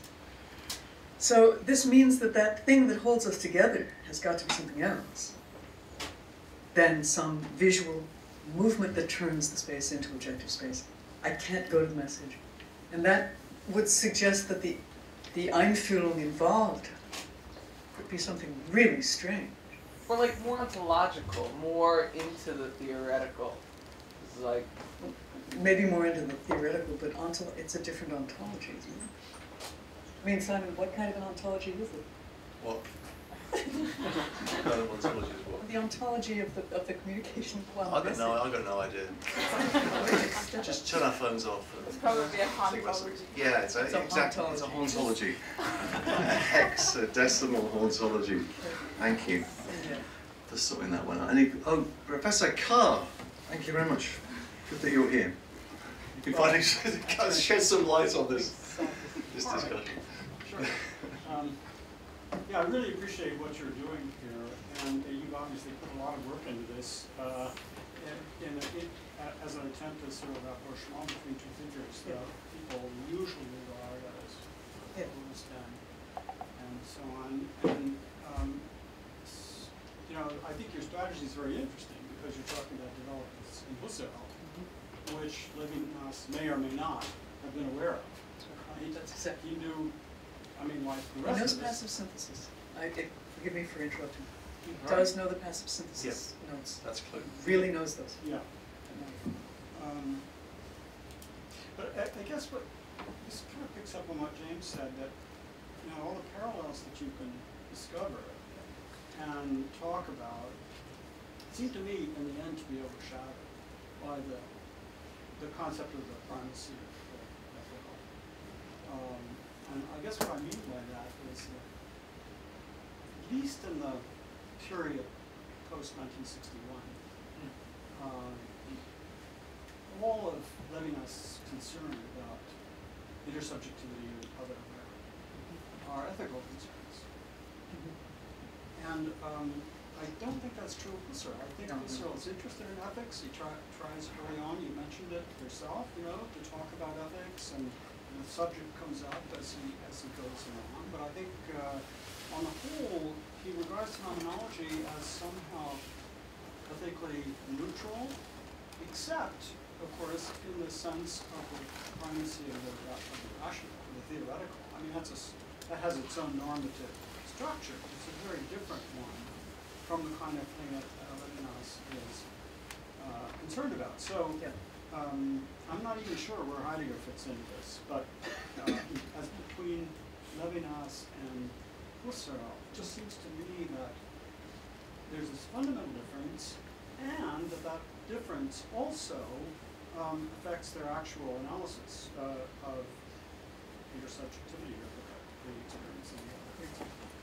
Um, so I guess I, I just found in, I read the article too, uh, not as much emphasis on that overarching concern as I would have liked, as a way of understanding really the differences between them, more than the similarities. You see what I'm saying? I do. Yeah, Um, yeah. Would you like a response? Um, to me, when Levinas's concern is ethical, but not in the sense that we take ethical usually to mean. So to, to me, I read Levinas privileging otherwise than being, where what we're talking about is the recurrence of very disturbing affect. And this is Levinas, I think, trying to say, why are we interested in what happens to another person at all? Why do we care? It's very similar to his problem with God. I mean, people see God in Levinas, and he uses the term, I was just reading about this. But what he's asking is, why do we, what is that kind of signification that we are trying to express when we use a word like that?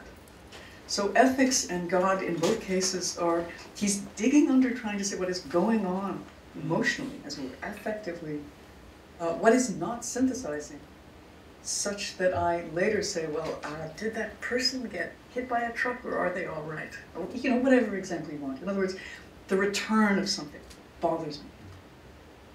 Now, that's not ethics in any kind of calculus of No, but pleasure, it, but happiness. it is different though from what. It is I different. that's a good I way to agree. put it. Disturbing affect, is that Yeah, that's exactly right. That's affect. I think Husserl is Oh, yeah, interested in everyday experience. yeah. And that I may agree include occasional disturbing affects, but Yep. it's not all that. Yep. There are all to it. No, I And completely agree. Because of Levinas's focus on that, Yeah, uh, it gives a, yeah. a cast to the whole investigation that just makes it different from Completely agree. To which I would then ask you in return, when one steps off of a field called phenomenology, because intentionality has grown so broad that we even have drive intentionality as one's, yeah, It's true. Really, It's a- it's true. You know, and, and the, the, the phenomenology of non-conscious is Levin's, uh, Husserl's term. Have you stepped into psychologism? Or have you stepped into hermeneutics? In which case, I'm willing to say that, uh, you know, Levinas has moved into psychologism. To a, to a, an orthodox Husserlian, this is no longer phenomenology, in the Husserlian sense. And that's all right. I mean, as far as I'm concerned, that's all right, provided one is honest about it. But you're not saying that Levinas I am absolutely. Oh, you are? I am, I am saying that Levinas goes so far with Husserl, and then draws a line that Husserl once drew himself, which is, beyond this, I can't constitute the other person. It's done. It's an absolutity that I. And then he dramatizes, and that's the hermeneutic part. Yeah, Yeah. I'd just add one, one bit to it, sort of coming in a different direction, is, um, so one way to contrast maybe the kind of you know, um, ethical sensitivities of, of either of them, you know, both of them, is between is, so for, for, for Husserl, it's very much, this is very clear in the ethical writings, it's always a question of discovering that which is higher in us, which is highest in us, and reshaping and reforming ourselves through a dedication to that highest. And, and this, you know, takes a number of different forms. In some cases, it's even associated with a certain, you know, notion of a love of God, right? God is the highest in us, chooses himself by, by, you know, himself through us, as it were, in terms of his own, his own self-affirmation. Um, that's very much the sort of the notion, right? So the, the whole notion of renewal that he works out in the 20s is very much oriented around that, right? And that's, and that's generalized beyond ethical renewal. Do You think about the renewal of something like a scientific culture, a scientific civilization, Europe. Uh. But, you know, Levinas, one way to kind of, just to start the discussion about that kind of fixes the, just the feel of his ethical sensibility is this, is this quote from Dostoevsky, right? That, that everyone is responsible for everyone else, everyone's guilty for everyone else, and I'm more than everyone, mm-hmm. right? So that kind of, you know, that, that being hostage to something that is from out to something that is not the highest in me, it's, it's in a sense, it's, it's a total disturbance that comes out of a, as he puts it, otherwise it being a, a, a passivity older than any passivity, right? It's something that, there's nothing in me that can even handle it. And it's a certain kind of, it's a basic trauma. And so just sort of juxtaposing those two sort of very simple pictures, and they're oversimplifications in both cases, in a sense, they just keep making each image deeper and deeper and deeper and draw themselves further and further apart from one another in a fundamental ways. So I think it's important. Right? I mean, for Levinas, it's, it's the lowest. It's the lowest. It's the you know the, the, the question is the um, I mean what Bettina's right. What Levinas uh, calls substitution in um, otherwise than being, which is the central concept in otherwise than being, the central concept in that book, and the central concept arguably in Levinas's work, is this complex adaptation of this insight that he gets from Husserl. And it's a level of you know, the lowest, right? as it were, the, the non-identity of the feeling of aliveness, something like that. Uh, the question then is, which is your question, is whether one can use the adjective ethical to describe this or not. Husserl thinks no, Levinas thinks yes. That's the question.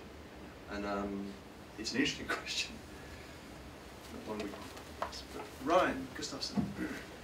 Yeah, thank, thank you for the talk. Um, so I took you to be arguing that um, this, this richer reading of, of, Le- of uh, Husserl on empathy and um, could be read as kind of a prefiguration of Levinas's account of the ethical relation. Right?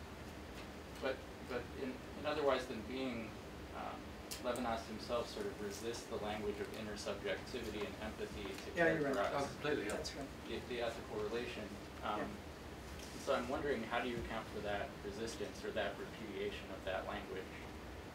Yes. 'Cause He seems to think that empathy and intersubjectivity aren't, aren't a prefiguration of the ethical relation. Yeah, they're ego alter ego relations.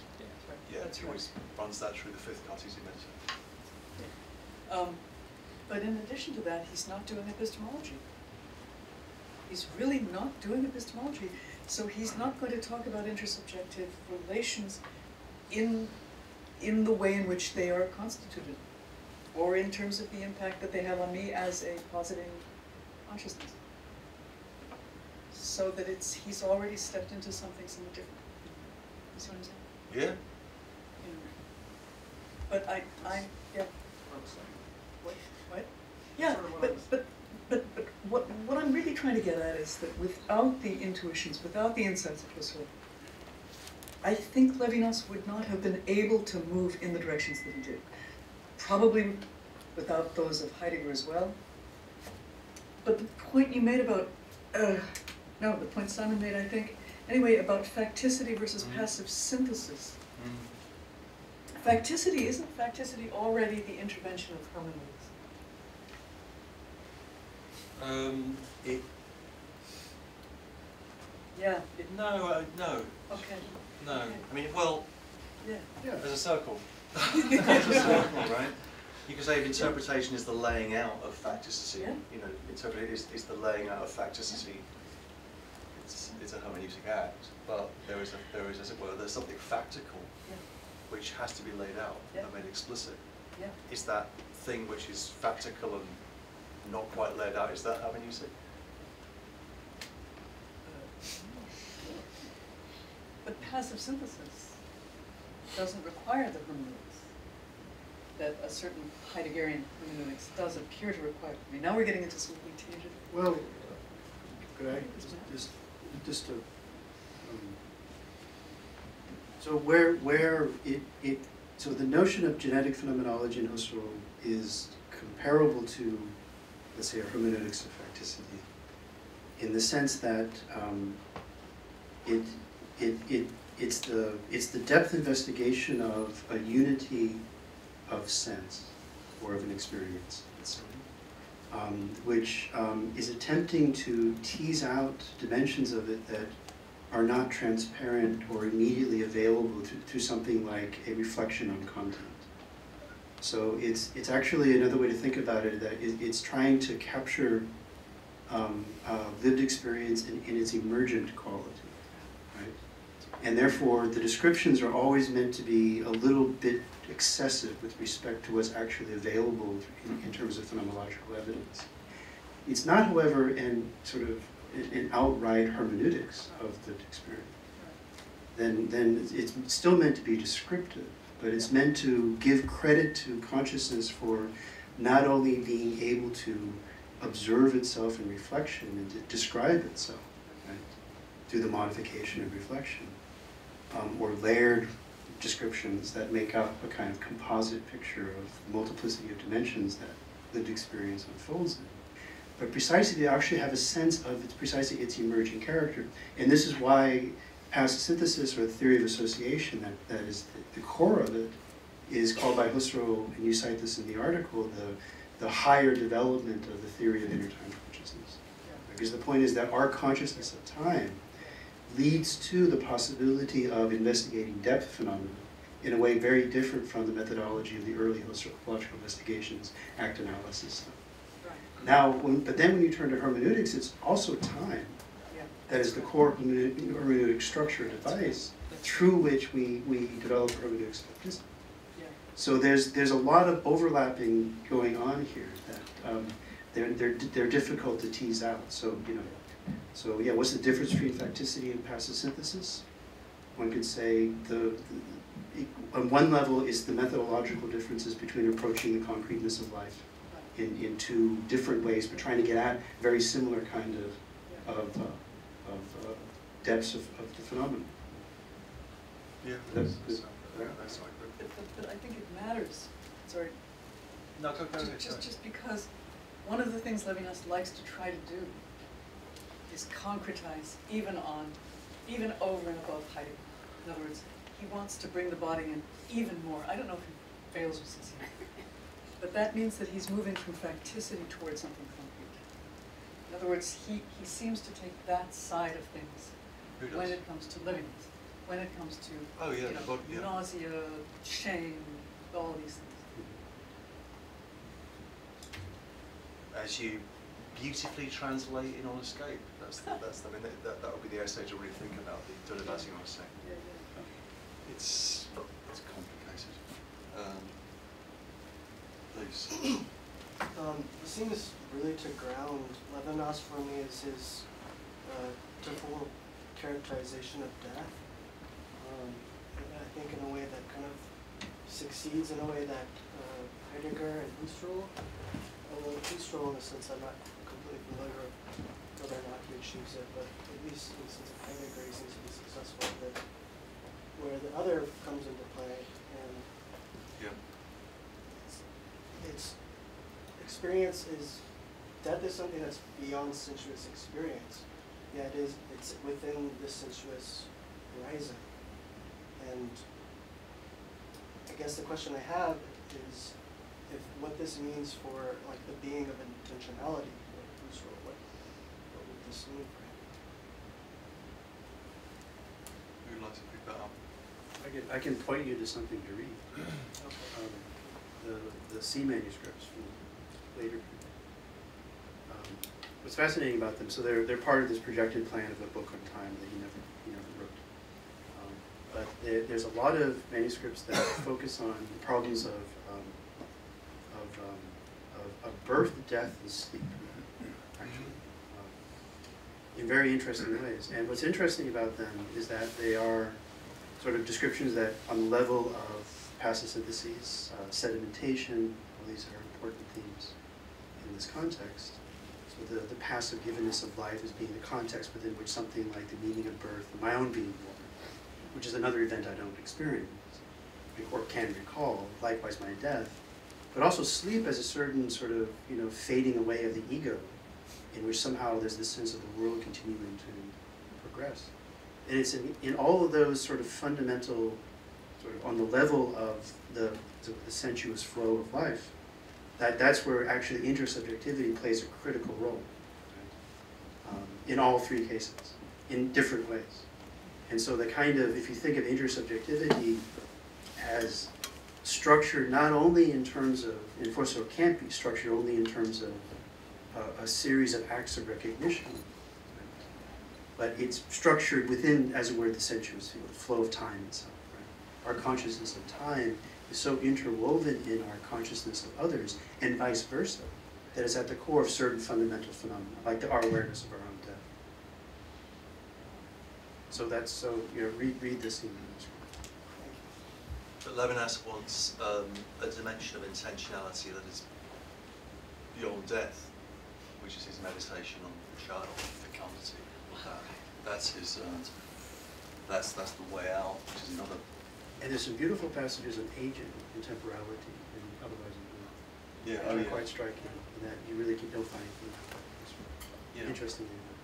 The wrinkling of the skin. Yeah, it's becoming. Yeah. The the older I get, the more I turn back some of that. Crispation. We all kind of turn into prunes. Professor Flynn, Bernie. Uh, Dana, you you brought some center stage the role of, of sensation in, in both uh, Husserl and uh, Levinas. But as you know, you know, in, in, in, in both the structure of behavior and the phenomenology of perception, Merleau-Ponty makes a very sustained argument against the existence of sensation. And in fact, he connects the belief in sensations to certain intellectualist Right. dimensions of, of uh, you know, of, of, of Western philosophy.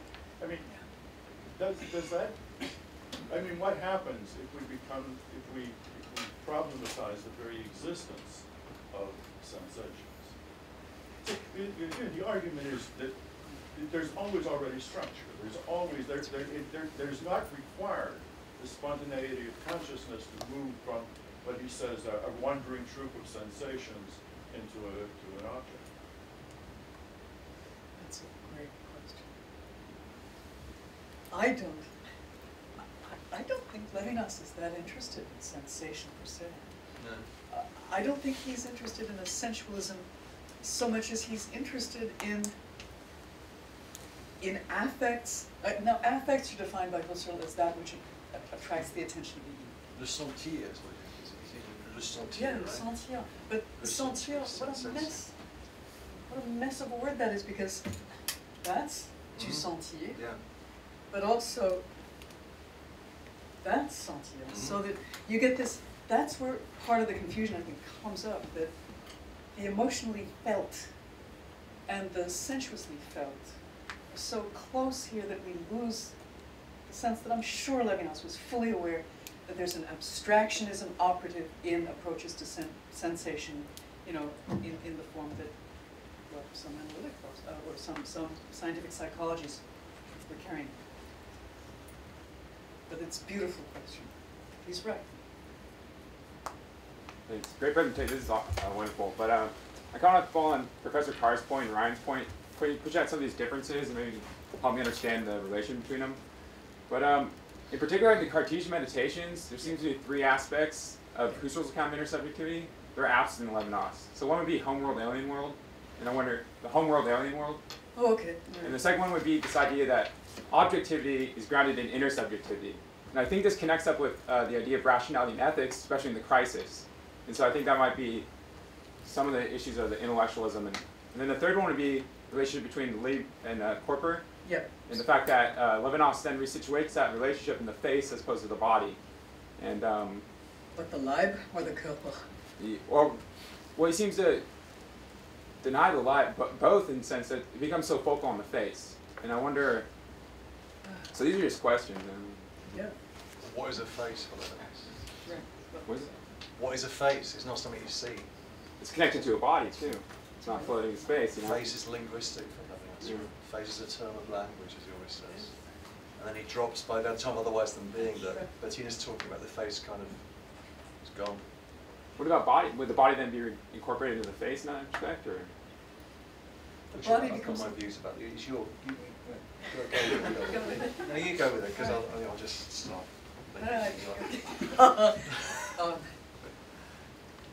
Body, the body is, is the site of things occurring to it, among other things.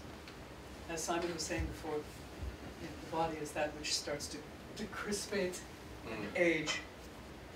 Uh, But, uh, yeah, I mean, your question is, is, is terrible because you should be asking James Dodd about the crisis, but, but, but not being quite so glib.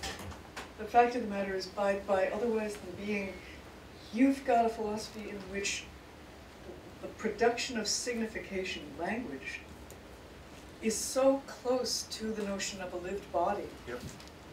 that it becomes really, really difficult. I mean, you're in a kind of wild hermeneutics deeply influenced by Derrida, as Simon knows, where you can't, you couldn't parse out, you know, Leib as the lived body in Husserl, Körper as a, as an objectified body. We're on a different terrain at that point. It would take a lot of work to answer that. Raheem and then PJ. Close it out there. Thank you for the subs- the talk. I learned a lot. Uh, my question, um, A little louder. yes, I try. Um, my question is this: as I have learned, maybe mistakenly, correct me, uh, that the notion of intentionality in Levinas is is a broader notion compared to Husserl. On the one hand, but on the other hand, uh, besides this broadening of the notion of intentionality, I mean a non-cognitive ethical intentionality in Levinas.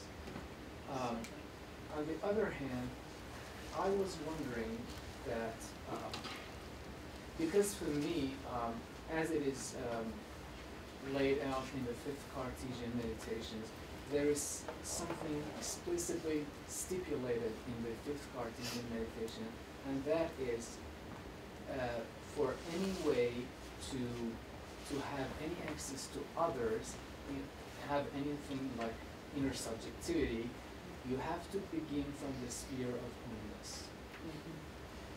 And find a way to constitute the otherness Yeah, of the other. Is there is there any way still uh, yet in Levinas to constitute the other and not lose the genuineness the um, of the other? because And the answer is- intentionality. The answer The is? answer is, No. you, you want me to answer? You answer. You have a different idea. Okay. Can we have a intimidated. broader All notion right, of all right, all right. constitution? Oh, yeah. Uh, I, I, we, we read in Levinas in sixty-one and then in seventy-four, this movement from an affective, it's not even an intentionality, it's a pre-intentional affection of which I nevertheless become conscious. And the moment I become conscious of it, I suspect we're in what he calls the third part mm-hmm. Becoming conscious of it suggests that the flow of time, that he has this vision of these diachronies, where the, the flow of time, sedimenting and protending, every now and then gets interrupted. What, what Levinas cannot answer is how it's conceivable that something like this could be interrupted and then pick up again. Would you need a third element explaining how the two differences, diachrony and synchrony, somehow can twist together and yet at the same time remain distinct. And that is, I think, a major, in my view, that's a major, major problem. Because that means that the third party and the other never quite meet. And just to say that the other, that the, that the, that the other, what is it, third looks at the other, looks at me through the eyes of the third party. In other words, I see that humanity on a certain. In that third party, you know, I say, this is Simon Critchley, I don't know who he is, blah, blah, blah. Good. And I, I, I find that moving. But if one wants to be an epistemologist about that, I don't see a way of explaining the how of the articulation. Maybe you have an answer. Can I just one, just, Yeah, just yeah. to, just to, I mean, I've already seen, sorry. Keep doing that. These others, sit. Um, What, what interests me about Levinas as, in, in, in, as a contrast to Husserl is that seem to me, so with, with- Husserl you have sort of the picture of intersubjectivity I think that emerges is really a, um, a complex field of, of partial constitutions that never really have any kind of finality. So in a way, it's a kind of an insight, is that uh, to a great extent, you know, when, when dealing with one another, living in a world where we, rely, even to have something like a role for us, or we rely on something like intersubjectivity. So when he kind of gets at, he tries to get at this weird language about monads and, and, and all this kind of stuff, but a lot of it is really just working around what remains perpetually opaque, but nevertheless significant with respect to what we are vis-a-vis each other as other than one another. And, and sort of the, the, the gesture is that um, there's enough of a, of a, um, an openness to non-finality, to differentiation, to otherness, that that doesn't really disrupt the transcendental field as something that has a certain basic integrity, right? Um, and it seems to me that in Levinas the picture is entirely different, is that field is fundamentally traumatized, and it's through that trauma that um, that uh, the, the the whole relation to the other has its origin, and is precisely a radically non-constituted origin. So it isn't just partial; it's actually, you know, it begins as a tear, as a wound, right? This bread being torn from my mouth is a constant metaphor through otherwise being. And it seems to me there's another um, sort of analog that, in, in an odd way, Hegel is closer to Levinas in the master-slave dialectic Yeah. than he is to Husserl. Because with Hegel, one thing that sort of that's part of that, that those sections that I didn't sort of get into the paper is that Hegel makes it very clear that sort of the kind of freedom as a as a whole, a life, right, that this sort of primitive self-consciousness represents, it's, it's described as willing to risk itself, right? Fundamentally risk everything. And therefore, the encounter is a struggle. The reason why it's a struggle is because the negation of the other, we put everything we are into that negation. So there's a kind of constitutive violence that's basic to sociality, that's basic to intersubject- uh, subjectivity for Hegel. And in a way, that's exactly what's happening in Levinas, is that the violence doesn't come from freedom or from the other. The violence comes from this other passivity, right? This other sort of relation to that which makes me a hostage, essentially. And so it seems to me that that's a, those are, you know, the fun, is that the question of that, you know, you have a constitution of the other in, in Husserl that's perfect and complete and intellectualized and conceptual and, and fully determinate, whereas in Levinas you have this openness. No, they're two different conceptions of openness. One is the openness of a trauma or a wound, an open wound, and the other is the openness of a kind of indeterminacy that nevertheless there's enough of a depth of experience and a depth of consciousness essentially to remain indifferent to. It doesn't disturb me in a fundamental way that I can't, as it were, fix in, in, a, in a totally determinate fashion the consciousness of another that I experience. For us, well, that's not the problem. What's more interesting is everything that comes out of that in terms of possible forms of sociality and the notion of, of Heimwelt versus Fremdwelt is exactly an instance of that. It's one structural possibility for differing, differing species of, of the, the partially constituted other, let's say, as different types of manifestation of intersubjectivity. last question, PJ. Go on, take it, do it, go on. So there's, there's two things, like one is this idea, so this intersubjectivity thing, I wonder if we ought not, uh, ask this question about the kind of religiosity that underlies Levinas's work and the substitution, and there's this kind of, uh, I say this because people who take up the Einfühlung and the kind of ethical stuff concurrent with Husserl, like Edith Stein and uh, Gerda Walther, who are doing similar projects, seem to, it terminates in a different way, very Christian way? The idea that this kind of high rationality and this kind of intersubjectivity fits in a way which it doesn't, doesn't, uh, like Levinas can't get down with because he's not Christian. So there's like that, there's that one part. And there's another sense in which, what you said earlier about this kind of trauma or like after the war, and I wonder if like there's a certain kind of uh, inability to even ask a question uh, and we should look because of, of where Husserl lies on the kind of historical plane in this respect, right? And if we can go with people who are picking up on this project, like Patočka, right, who were living after the war, who are interested in these things, and it's not quite politics, it's not quite ethics, but it's this kind of robbed, you know, and risk taken, and or even I would say some waits to rent, um, or even you know somebody like so like I don't know. There's part of me to say like maybe what this shows is the ability to sort of break away from the, from three people we repeat over and over again and sort of extend the kind of phenomenological. If this is about phenomenology, is this about phenomenology? Or is it about Husserl and, and Levinas?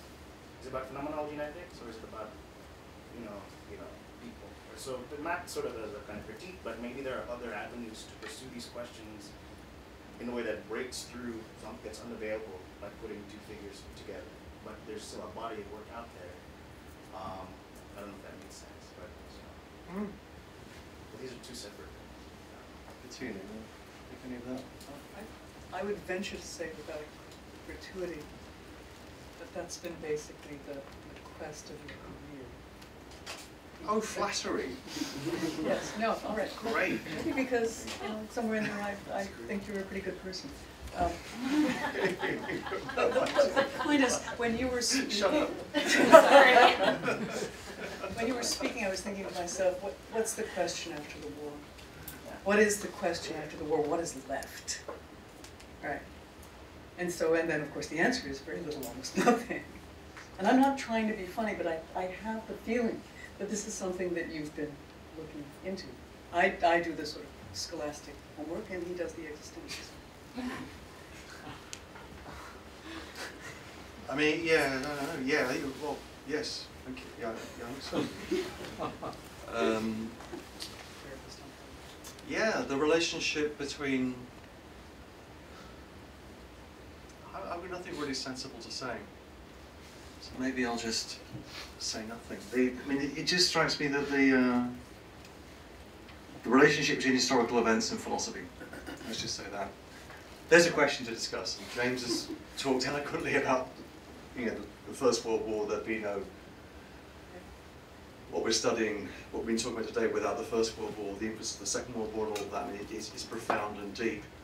And uh, the shift it has on Levinas, we know, is, is, is cataclysmic. I mean, his, um, I think what's always good to appreciate about Levinas is that Levinas, uh, Levinas was a philosopher, or someone, he was a, you know, an administrator in a Jewish high school in Paris. That was, that was the day job. Um, you know, a specialist in phenomenology, at least that was the only way he was known, he was unknown otherwise. And uh, the belief is that philosophy understood as phenomenology, understood as intentional analysis, is going to be able to elicit structures um, which are going to be able to respond to the historical experience of the Second World War. Uh, that's his naivety, which is a terrific, wonderful naivety. It's not the only naivety he has. I mean, I mean, uh, Bettina mentioned a couple of times, couple of times the idea of drama, and the, the you know, Levinas is a, a dramatic writer, and um, and if you judge Levinas's work by the standards of Anglo-American philosophy, it's it's rubbish, right? Which either means it's rubbish, or which is entirely possible, or there's something wrong with Anglo-American philosophy, which I tend to, I tend to. This is my conclusion. And what Levinas is trying to do through his drama is to try and elicit some kind of set of structures uh, which is able to respond to the violence of historical experience. He does that in philosophy, he does that in Talmudic commentaries as known, but he also does that in the attempt to write a novel. Right? These three drafts of this novel called Eros, that he keeps going back to, and um, which fail in different ways and are fascinating. And it's all about the, if you like, the eroticism, the, the, the sensuality of war. And he's trying to figure, so, so there are all these different uh, avenues in Levinas, which are attempts to, to meditate that question.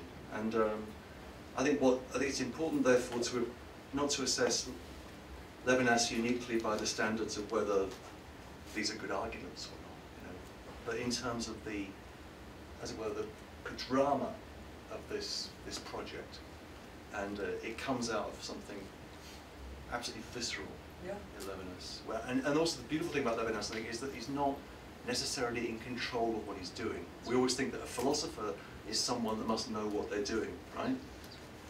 And Levinas didn't. There's something kind of wild about Levinas, particularly otherwise than being. The prose is going to places, things are popping up, and you, you feel that this is not, it doesn't necessarily add up. And you can say, well, that's on the one hand, that's, that's bad philosophy, or it's something really interesting is happening here.